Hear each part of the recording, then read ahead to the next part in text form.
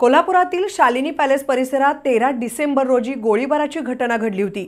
या प्रकरणी अटक टाळण्यासाठी मानसिंग बोंद्रेच्या वकिलांनी न्यायालयात अटकपूर्व जामिनासाठी अर्ज दाखल केला होता. मात्र न्यायालयानं बोंद्रेचा अटकपूर्व जामीन फेटाळला.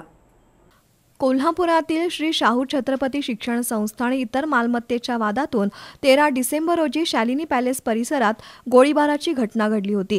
चुलत सावत्र बंधू अभिषेक बोंद्रे यांना जीवे मारण्याचा प्रयत्न केल्याप्रकरणी मानसिंग बोंद्रे याच्या विरोधात राजवाडा पोलिसात गुन्हा नोंद झाला होता.